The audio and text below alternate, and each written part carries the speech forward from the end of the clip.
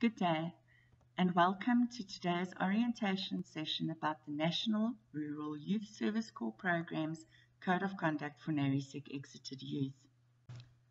Today's presentation will outline the purpose of the Code of Conduct, as well as the actual Code of Conduct and what is expected of you as an ex-NARYSEC participant in contract with the Department. The purpose of the NARYSEC Code of Conduct is to ensure compliance to rules and regulations and to provide clear guidelines towards good behavior.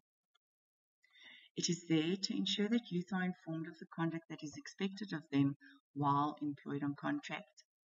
It provides a framework upon which the conduct can be standardized and managed, and it promotes mutual understanding and respect amongst youth, officials, and other role players. It prevents arbitrary and discriminatory actions by officials towards youth.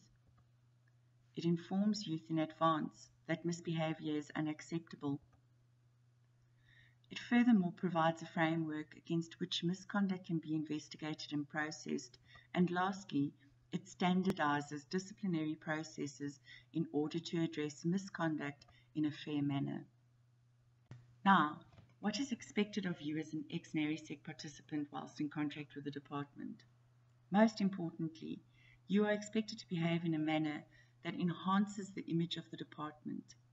We are now going to discuss some general rules which should guide you into achieving this. Firstly, you are expected to submit correct and valid documentation such as your ID or your driver's license. You are expected to report for duty on time and work the whole day. It is expected from you to respect and comply with instructions issued by the extension officers.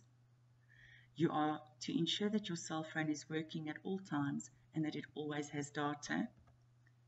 And you are to respect members of the public, officials, and service providers.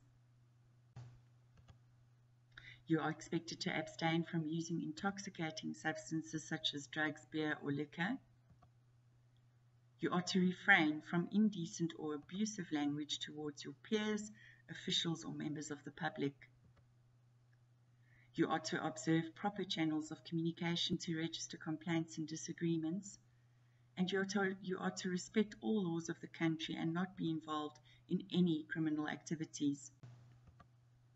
You are to abide by COVID-19 related health and safety regulations such as social distancing. You are always to wear a mask and carry hand sanitizer.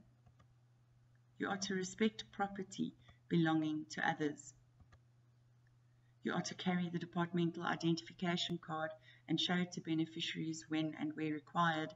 And lastly, you are to respect the fundamental rights of other people as contained in the Bill of Rights Chapter 2 of the South African Constitution, Act 108 of 1996.